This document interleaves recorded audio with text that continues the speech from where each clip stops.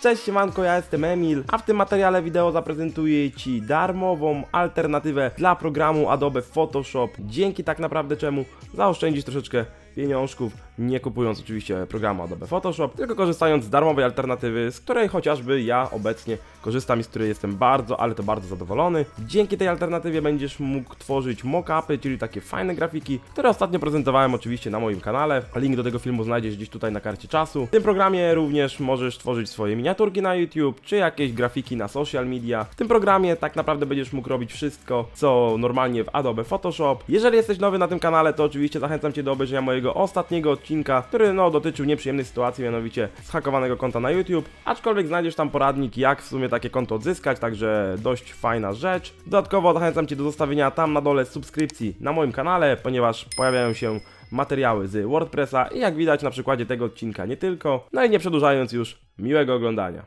Znajdujemy się już na komputerze, jesteśmy w oknie przeglądarki internetowej oczywiście. No i ta darmowa alternatywa dla programu Adobe Photoshop to jest nic innego jak photopea.com i jak będziesz mógł za chwilkę zauważyć, yy, właśnie program nam się załadował. Yy, to jest właśnie ta alternatywa, ona jest całkowicie darmowa. E, Jak widać obsługuje ona pliki PSD, czyli właśnie pliki programu Adobe Photoshop, E, Adobe Illustrator, także możemy tworzyć bardzo fajne grafiki e, wektorowe, które podczas skalowania, podczas zwiększania, zmniejszania nie tracą one zupełnie swojej jakości. Dodatkowo tutaj formaty XD, czyli program do tworzenia chociażby właśnie takiego podglądu, broszur czy też stron internetowych, które możemy sobie zaprojektować graficznie. Również obsługuje format e, plików programu GIF, także dość fajna, tak jak już wspomniałem, alternatywa. No i co? Można sobie stworzyć oczywiście nowy projekt i tutaj mamy różne już e, na dzień dobry rozmiary. E, Tak jak można zauważyć, że mamy tutaj obrazek na tło, na nasz fanpage na Facebooku i różne tutaj takie inne oczywiście rzeczy. Możemy sobie stworzyć awatar na YouTube'a, na Twittera, tutaj oczywiście Twitter header i inne rzeczy. Tutaj mamy już jakieś gotowe templatki. Standardowo tutaj zmieniamy sobie oczywiście szerokość, wysokość oraz tutaj e, DPI. Również możemy sobie wybrać tło. Standardowo tak jak w Adobe Photoshop biały, czarny i przezroczysty. No i możemy oczywiście sobie to dostosować. E, także tak by to wyglądało. E, Zróbmy sobie może na początek mm, miniaturkę chociażby do tego odcinka. Także ja już generalnie mam y, plik PSD. E, Gdzieś on oczywiście będzie, chociażby chyba ten. Także ja sobie go przerzucam. I jak widać, już cała, cały ten rodzaj tej miniaturki jest zaczytany. Wszystkie tutaj te warstwy, które ja bym chciał, no to po prostu są. Także cóż, teraz na początek w pierwszej kolejności stworzymy sobie miniaturkę pod ten odcinek, a następnie pokażę Ci, że również ten program ogarnie mockupy, także nie będziesz musiał pobierać programu Adobe Photoshop, nie będziesz musiał płacić za niego, no i nie będziesz musiał gdzieś tam szukać na ciemnych stronach y, Kraków czy też jakichś innych rzeczy. Także cóż, lecimy. Co warto również podkreślić, to że działają po prostu niektóre skróty klawiszowe z Adobe Photoshop. I tak chociażby mamy przykład Ctrl Alt I, zmieniamy sobie rozmiar y, całego naszego obrazu, a natomiast Ctrl Alt C mamy rozmiar obszaru roboczego. Y, Jeżeli Ctrl T naciśniemy, chcielibyśmy zaznaczyć daną warstwę, no to ona nam się nie zaznaczy, tylko tutaj otworzy nam się bodajże nowe okno przeglądarki. E, aczkolwiek jeżeli my sobie zaznaczymy, o właśnie, e, nie tutaj, tutaj było o, auto zaznaczanie, kontrolki przekształcania, no to wtedy możemy sobie o, w ten sposób to zaznaczyć i odznaczać i dzięki temu możemy sobie to wszystko edytować, prawda? Ctrl Z, wiadomo, e, cofamy sobie ten element. Także cóż, na początek zmienimy sobie te napisy. Ja niestety sobie scaliłem te warstwy, e, raczej e, odscalić, no to raczej tego nie da e, się, także będzie trzeba zrobić po prostu od nowa jeszcze raz, e, ale nam to się nic nie dzieje, także wybieramy sobie oczywiście tutaj linię tekstu, e, na jakiś tam text layer został nam dodany, no i cóż, wpiszmy sobie e, darmowy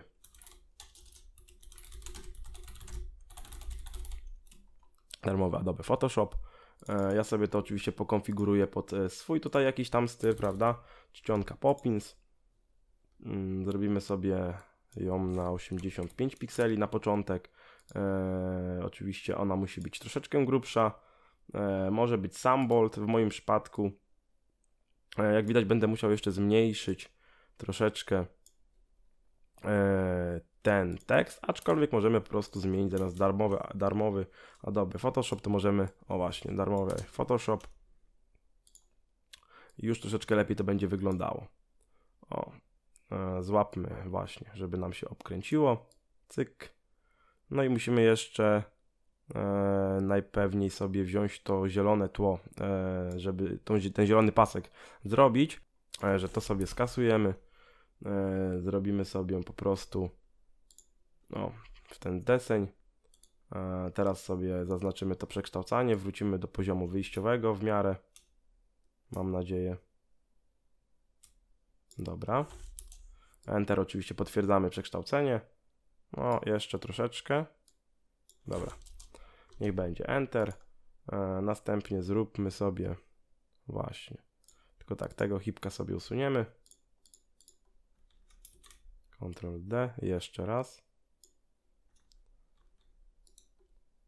Przekształt zaznaczenie.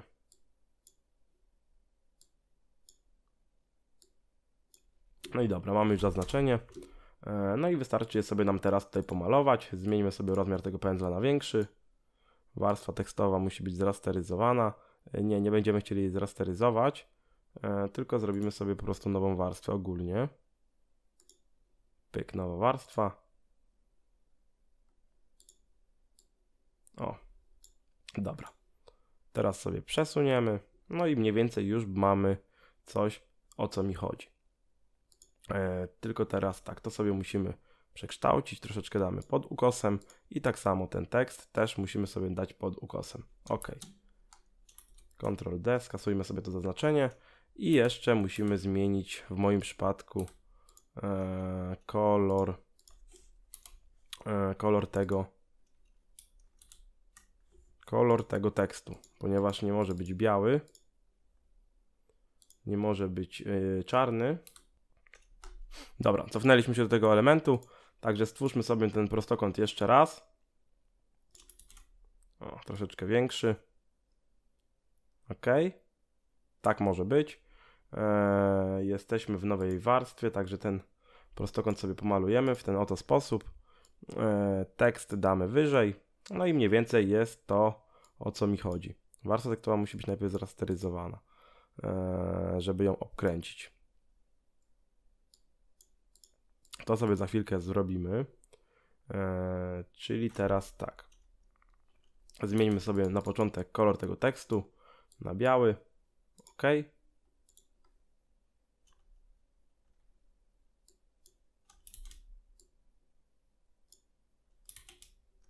Ctrl D.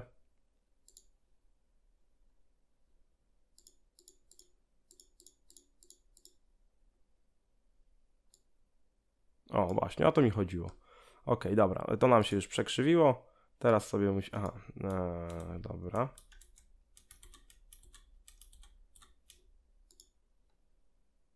Teraz sobie przekręcimy tą warstwę. O, w, no mniej więcej w ten sposób.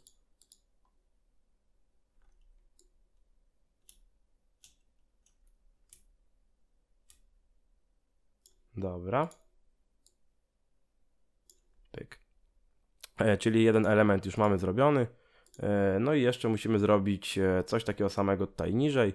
Także darmowy Photoshop. Alternatywa będzie program czy program alternatywny. To sobie skasujmy. Dodajmy sobie nowy tekst. O,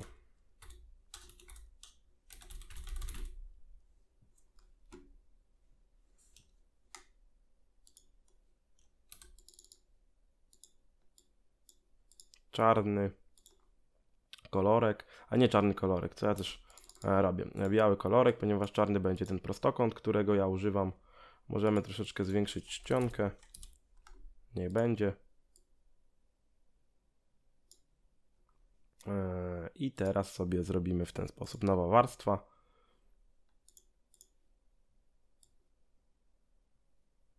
Dobra. E, teraz tak, to alternatywa możemy sobie zrobić na biało. A to sobie wypełnić kolorem czarnym. Dobra, i przesuńmy na górę. Dobra.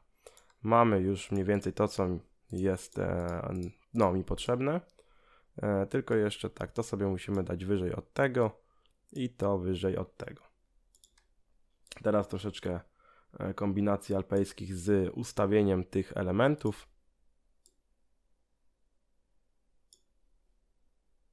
Czy ewentualnie może ten zielony będzie na tym. O, to niech będzie w ten sposób.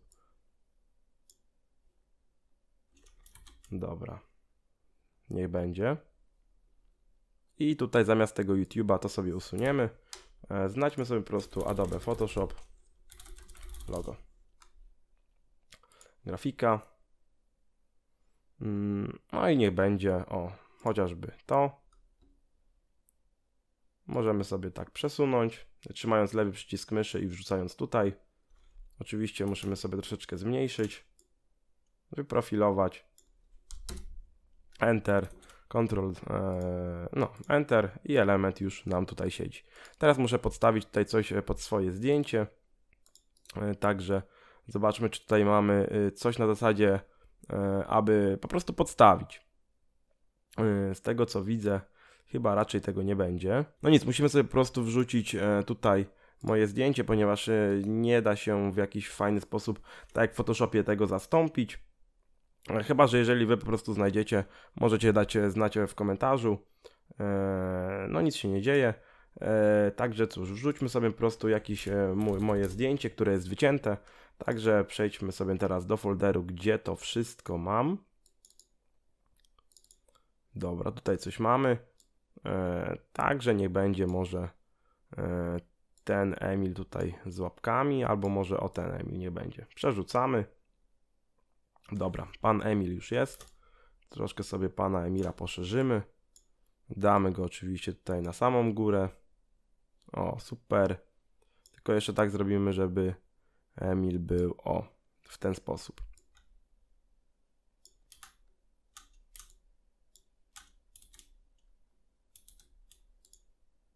Troszkę się e, przywiesza, troszeczkę ta fotopea, aczkolwiek suma summarum jest dość fajne narzędzie właśnie do tworzenia takich grafik. E, no i tak jak mówię, najważniejsze, że jest za darmo. Dobra. Dajmy sobie na razie Enter. Spróbujmy sobie po prostu przekopiować e, ten styl warstwy tutaj do tego drugiego. No chyba by było, także teraz to sobie skasujmy. No i generalnie jest, jest ok. E, Emil już jest. Tylko tego, ten darmowy Photoshop musimy zrobić troszeczkę mniejszy. Z tego względu, że e, no, na, nachodzi e, tutaj na mnie ten napis, także musimy e, troszeczkę zmniejszyć ten element.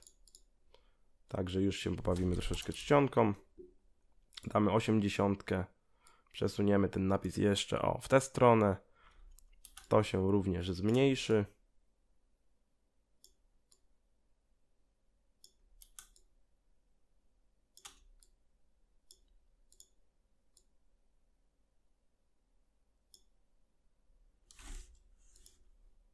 Tą alternatywę też sobie przesuniemy.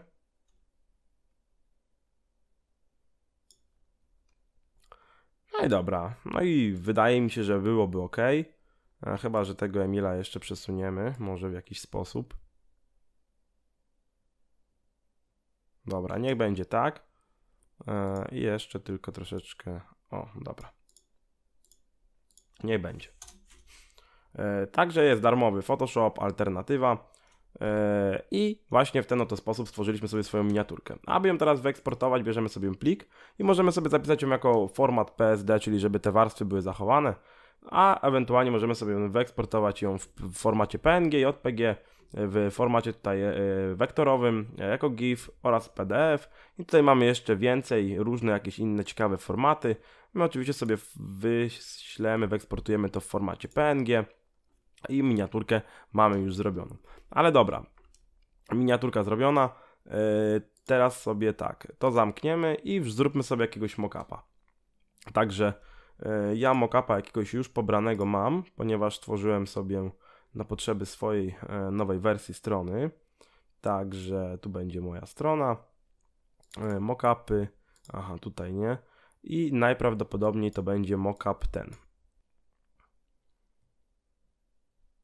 Dobra, mamy takiego mockupa, jak widać mamy dwa smartfony e, ułożone e, po. Także yy, nie, nie trzeba nam nic innego, jak sobie rozsunąć ten folder. I mamy iPhone 1, iPhone 2. Yy, oczywiście klikamy sobie tutaj w ten element. Och. Właśnie, dwa razy e, lewym przyciskiem myszy i mamy właśnie ten element, do którego należy wkleić jakiegoś screenshota. Ja screenshoty też mam porobione, przejdźmy sobie na pulpit. Raz, dwa, trzy. Także przerzućmy sobie może to aspekto. Oczywiście musimy sobie troszeczkę zwiększyć. Mniej więcej. O. Dobra, Enter. E, no i jak widać mamy już tutaj e, zrobione, także zróbmy sobie teraz Ctrl S, tak żeby to zapisać i zamknijmy. Jak widać nasza grafika e, się naniosła, zróbmy sobie to teraz tak samo tutaj z tym drugim. Przerzućmy kolejnego screenshota. Alt i Shift, aby sobie rozszerzyć. Dobra, Enter. E, no i mamy kolejnego tutaj screena, Ctrl S. E, ta, ten obiekt e, nam się oczywiście zaktualizował, zamykamy. No i mamy takiego mockupa stworzonego. Oczywiście możemy też sobie to tło usunąć tutaj przez ten background. Mamy bez tła, mamy przezroczyste. Tutaj jeszcze mamy ten cień zachowany. No i aby sobie wyeksportować takiego mockupa, wystarczy sobie wybrać plik. Eksportuj jako PNG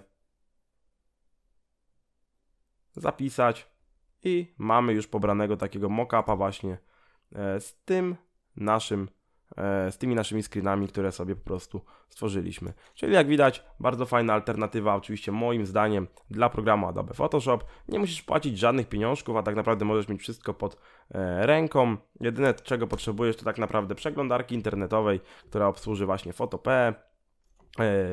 Dzięki za obejrzenie tego odcinka. Mam nadzieję oczywiście, że w jakiś sposób Ci pomogłem.